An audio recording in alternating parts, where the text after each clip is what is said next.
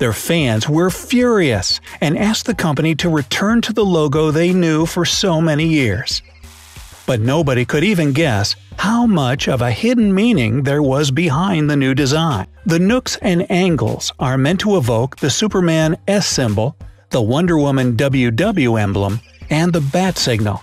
Can you see all of them in there? All jokes aside, the famous web browser Mozilla Firefox put a fox on its logo that circles the entire planet. But guess what? That's not even a fox. The thing is, Firefox is the English translation of the Chinese name for a red panda. This way, the company wanted to demonstrate how unique they are, because this is a very rare kind of panda that's actually endangered. In 2010, Mozilla Firefox even adopted two red pandas and took over responsibility for their care. So yeah, Firefox is no fox at all, it's an adorable red panda. Aww.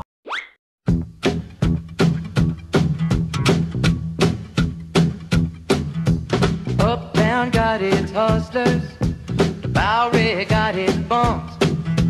42nd Street got Big Jim, a walker, bull shooting son of and dumb as a man can come, but he's stronger than a country horse.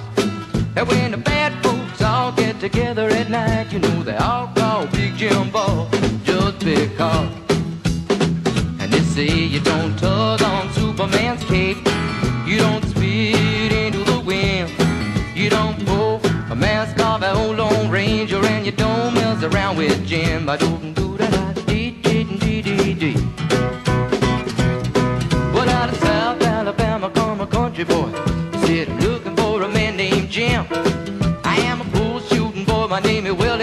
McCoy. But down home they call me Slim.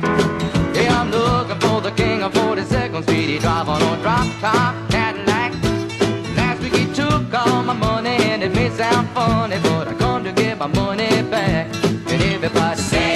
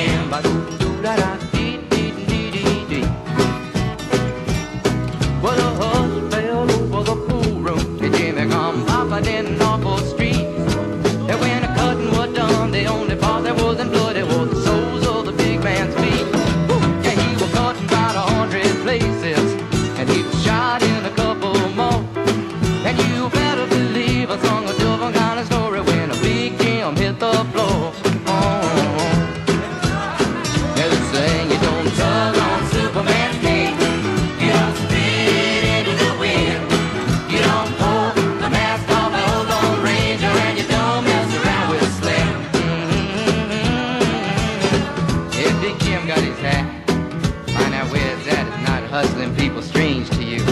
Even if you do got a two-piece custom-made bull cue. yeah, you don't